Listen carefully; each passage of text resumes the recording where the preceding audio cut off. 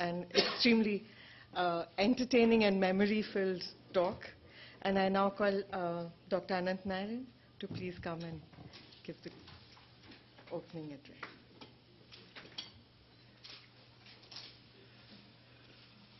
cut down my talk because we have a panel discussion and I thought possibly since I'm supposed to wind up, I would add my thoughts at that particular time and then we could share because we are running short of time and in the morning itself uh, Dr. Hegde said we have Indian stretchable time rather than Indian standard time.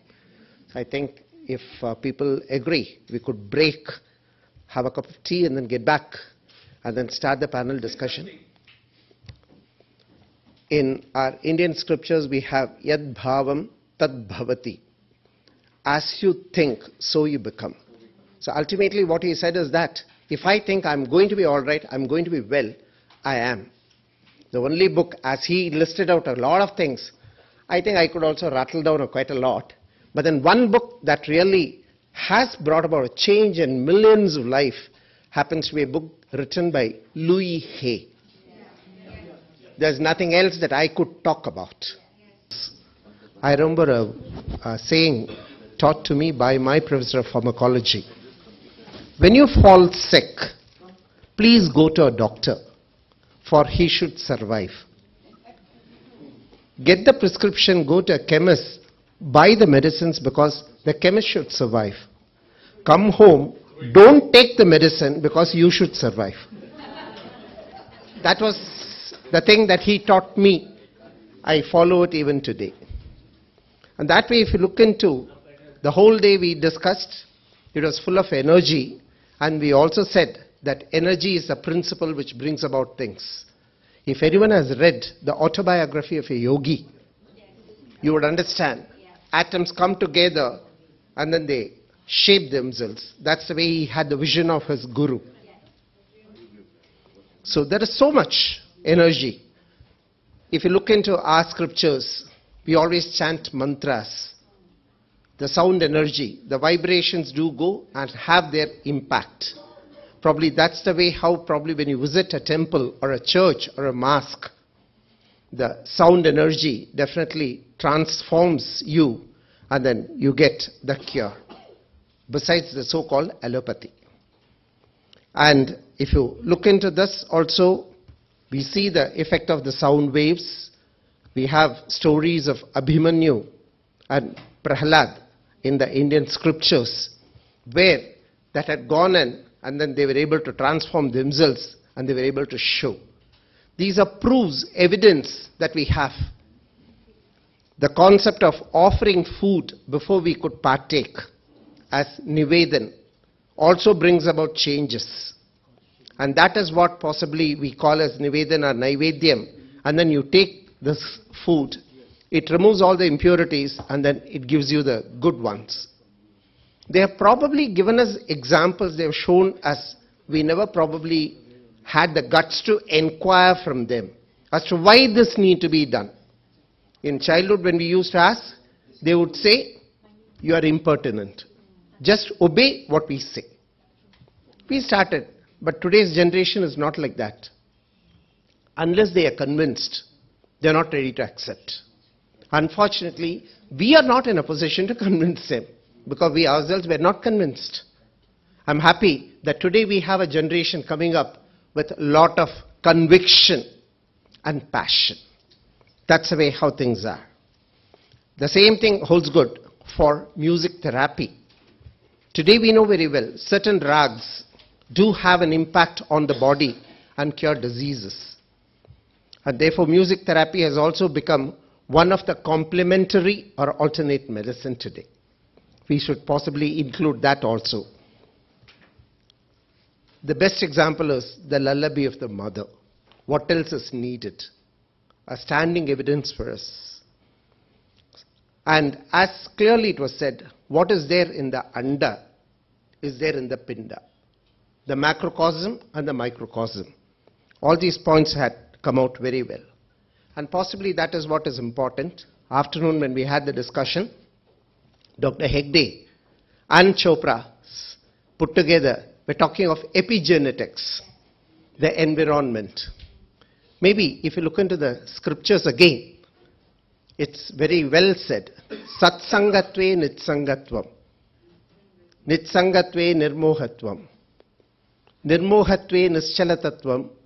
Nischalatatve jivan muktihi. Good company. The environment is only that. So if you're in good company, it's good. So if you have positive thoughts, the positive energy is always there. So if you are life positive, it is. And that's what Louise Hay had again said life loves you. And if you could go through that, I think I would definitely take page 91. Don't think only Hegde can ca- quote the pages. I can also quote. It's about forgiveness. All about forgiveness. Okay? That's the way how it is. So when you keep a good company, you develop a good aura around you. And that is why possibly you had a halo around the so-called saints and seers and sages. You're able to see that. They had always good thoughts. They forgive. They forgave people. Right? That's the way how things. They were full of love, compassion. And we had a discussion on the photography, the Kirlian photography, the aura that has been taken. Anyone who is full of love and compassion always throws out pink radiations. That's been well proved. If you're angry, the radiations are different.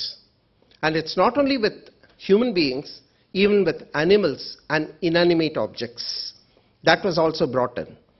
We always talked of Satyam Vada, Dharmam Chara.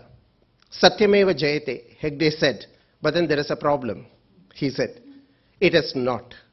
Because the scriptures again mention Satyam Maha Bheshajam. Truth cures. Why I say that is, that happens to be the motto and the logo of JIPMER Pondicherry. And therefore, that's it. We always talk, I want peace, I want happiness, because we are still self centered. It's not that we want peace, we want happiness. And the solution is there itself. Remove the I, the ego, which causes the maximum problems. Remove the want. The peace is there, the happiness is there. But how much or how many of us ever understand the significance of removing the ego and removing the want? We have become so greedy. And that's the reason why we have so much of illnesses around us. And if you could have positive thoughts, your life becomes positive.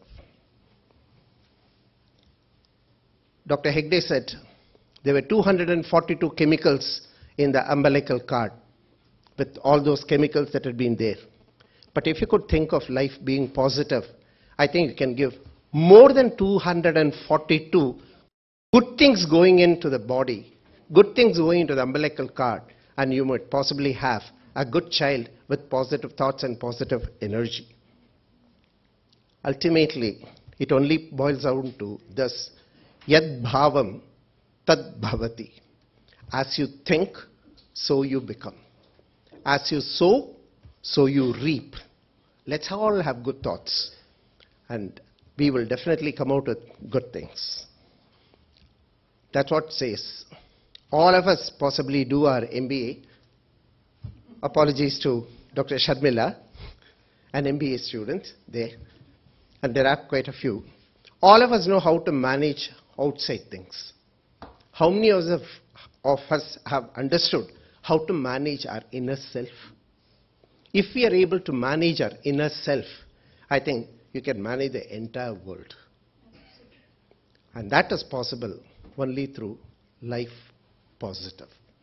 And that's all that we had the whole day. The carry home messages be positive, life positive. My blood group is be positive.